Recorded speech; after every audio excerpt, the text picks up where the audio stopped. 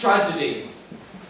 The scene is the seaside village of Invernewton, famous for its calm, rustic atmosphere and for its fabulous raspberry ripple ice cream. We join three fishermen Frederick, Jerry, and Jemima as they begin, as they begin their work on a completely normal day. Or is it?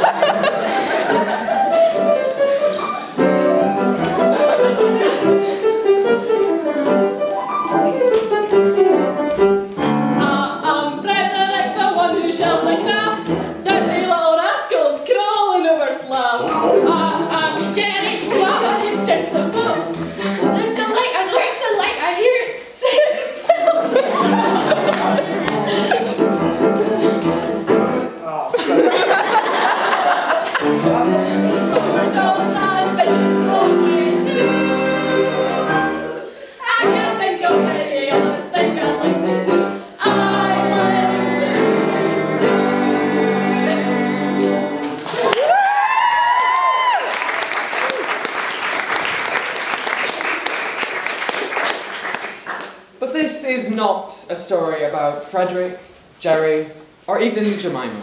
This is the story of deceit, ambition, jealousy, and tragedy.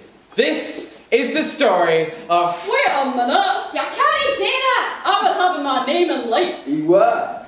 Oh, I'm, I'm, I'm sorry, but that's what's written here in the script. Exit disgruntled fisherman. Oh, is it now? That's an awful coincidence, isn't it? Isn't it? They're always blaming it on the script, isn't they, Jemima? They are. Yeah, it's always, that's what's in the script. The script says this and the script says that. I don't even know what script is. She doesn't even know what script is. Talk about living in a democratic state. And so the three fishermen left to go on a holiday for a while, safe in the knowledge that they had enough raspberry ripple ice cream to last until about next Tuesday. Wait, why are we leaving? Because it says so in the script. This is the story of deceit, ambition, jealousy, and tragedy. This is the story of Jack and Jill.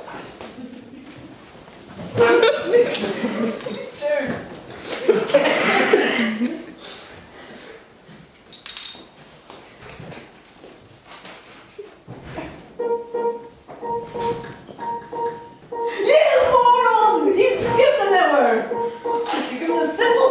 managing the space-time continuum, and you mess it up. You can't get the staff these days. Look here, I'm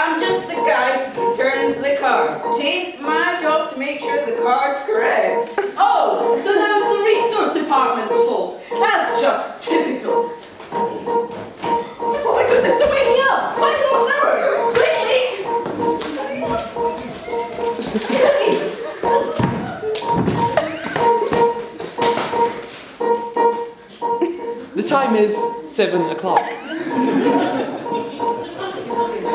Jack and Jill both live in a semi detached postmodern tenement flat.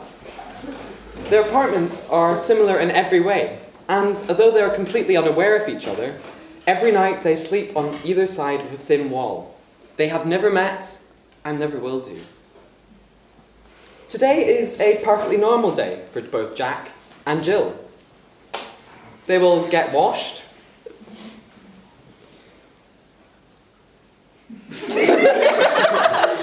they will eat food.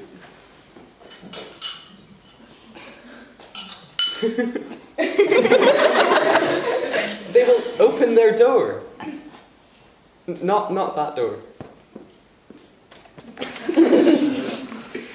Just like every other day, Jack and Jill will step into the wonderful world, admiring its beauty. Just like every other day, Jack will turn right to begin his daily journey to Right Side Industries, working as a financial insurance consultant. Just like every other day, Jill will turn left to begin her daily journey to Left Side Industries, working as a departmental disclosures secretary.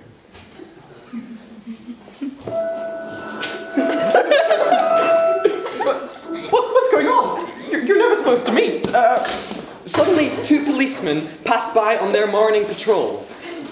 What's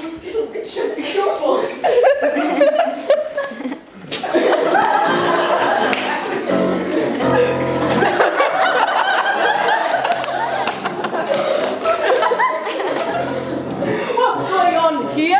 Yeah. Here. This sort of intimate contact is completely inappropriate in a public access of this sort.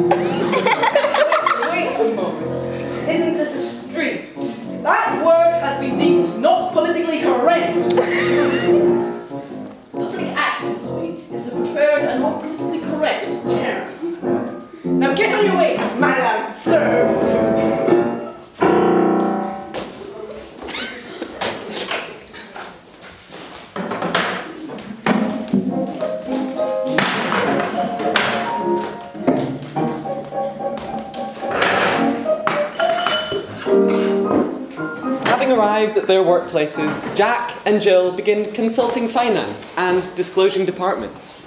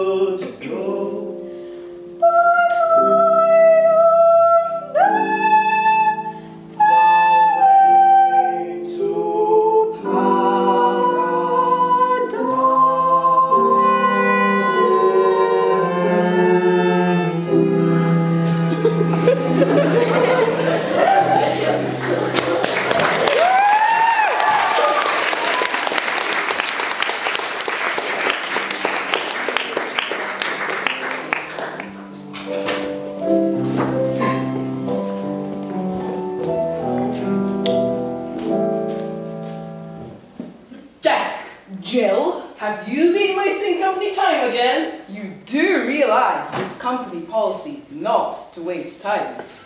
I'm sorry. I didn't realize it was a company policy. Are you sure? Well, I'm just afraid that's not good enough. So. Think I'm going to have to let you go. Oh, please, not that. Anything but that. I'm sorry, Jill. I'm sorry, Jill. You're fired!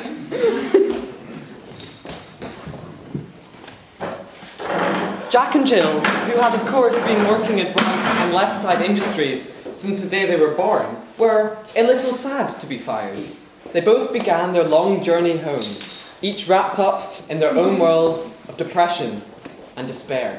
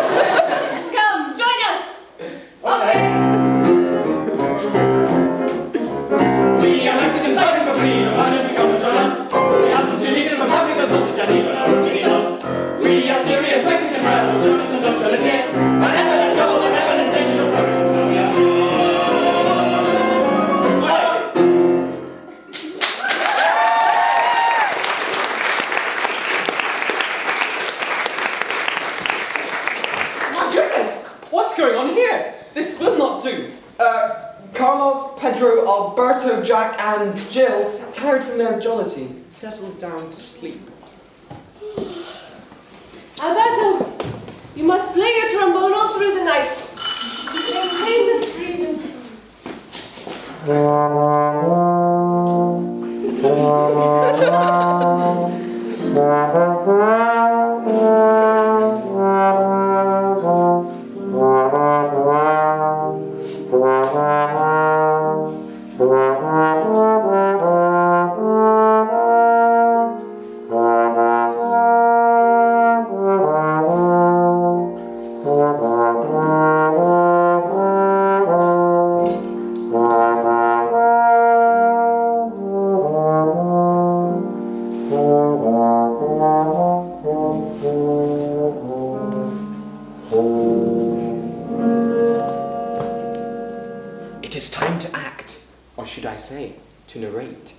Suddenly, two burly policemen stumbled across the scene and seized the Mexicans, who happened to be illegal immigrants. They let Jack and Jill sleep on.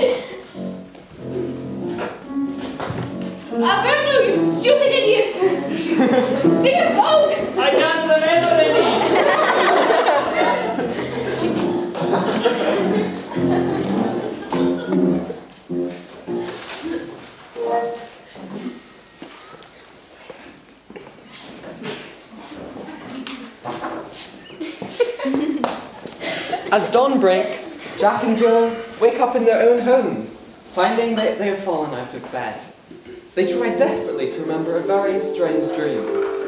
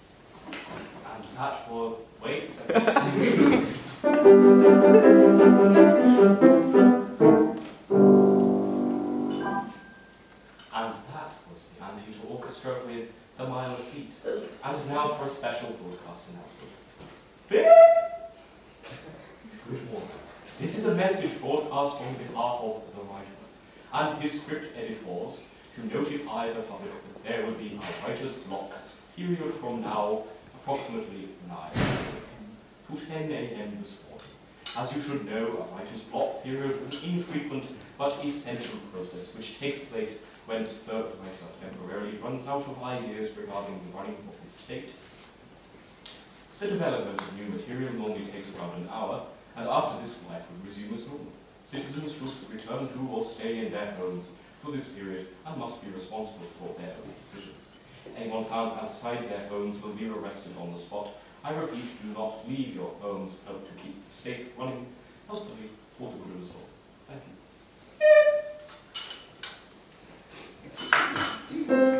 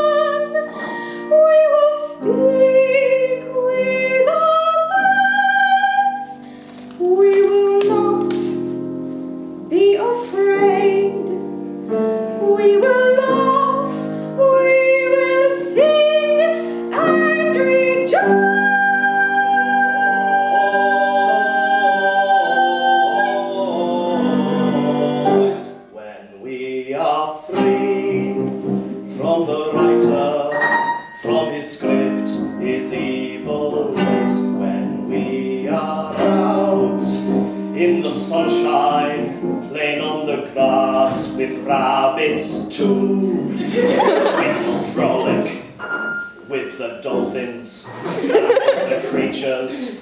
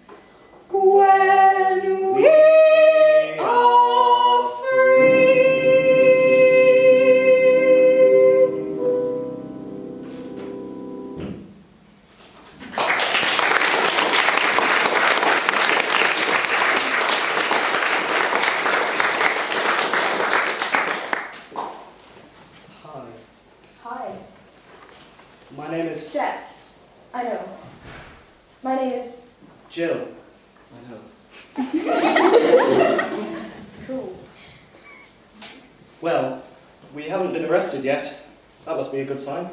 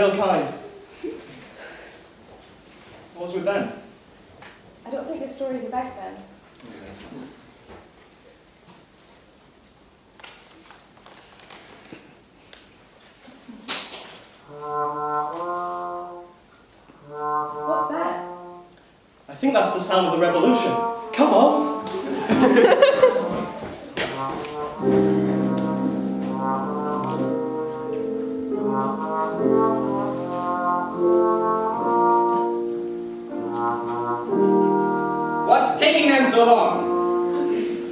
They will be here, Pedro. Happy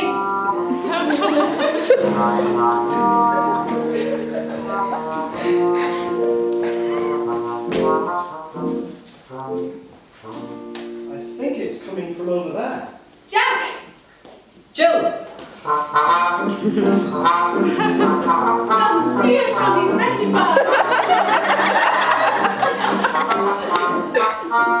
What? How? These bars are made of metal.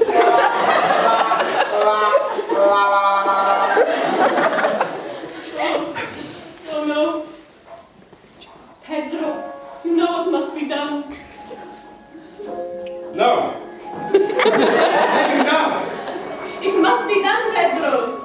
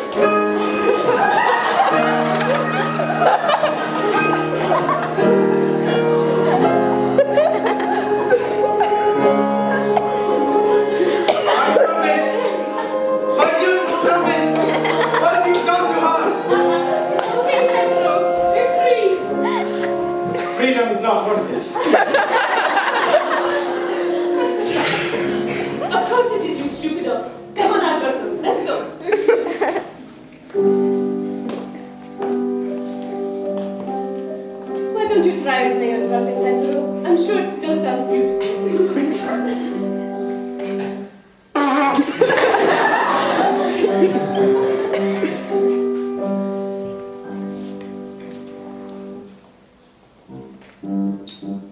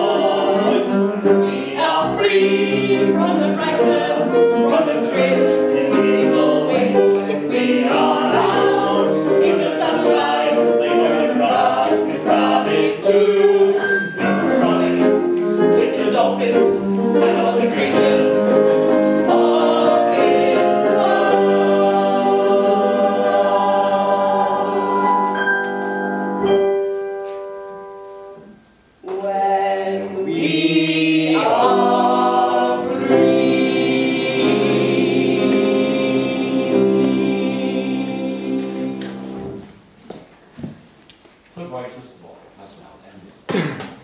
The world has gone into turmoil during the writer's block. How has this happened? Uh, suddenly, two burly policemen pass by on their daily prison patrol.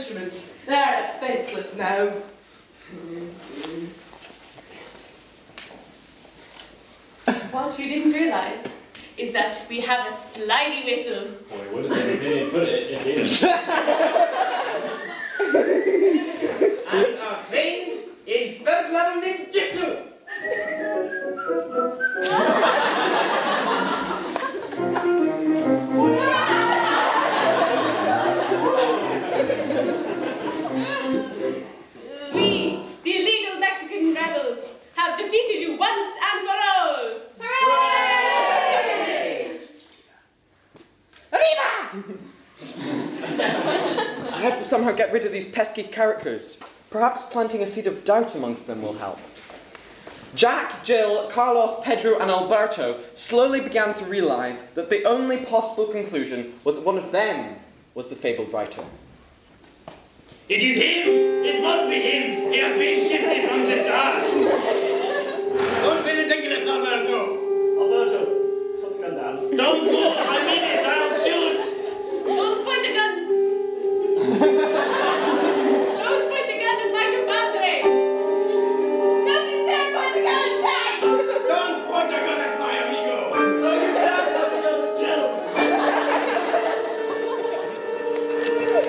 The tension in the air was thick as marmalade. So thick, you couldn't cut it with a knife. The party's nerves racked as they wondered who could possibly be the culprit.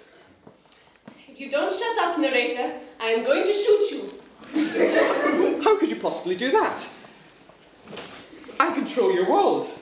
I control everything you do. I'm the. Only the writer could shoot the narrator. It must be you, Carlos.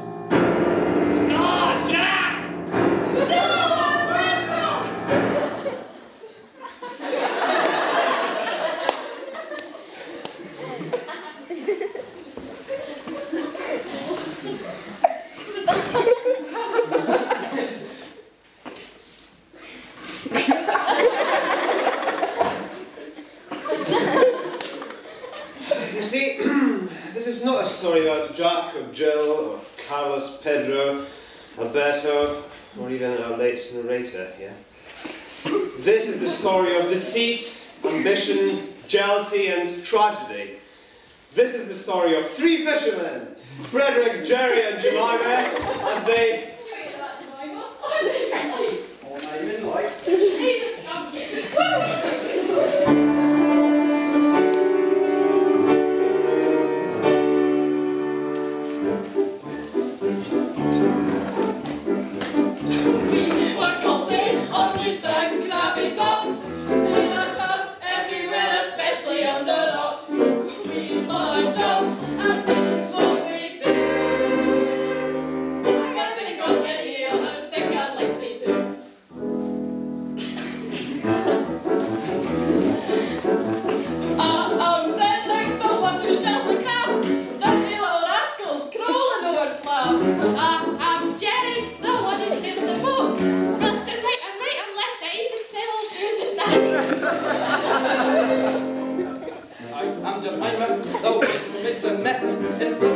tell you, it's the best on that'll get.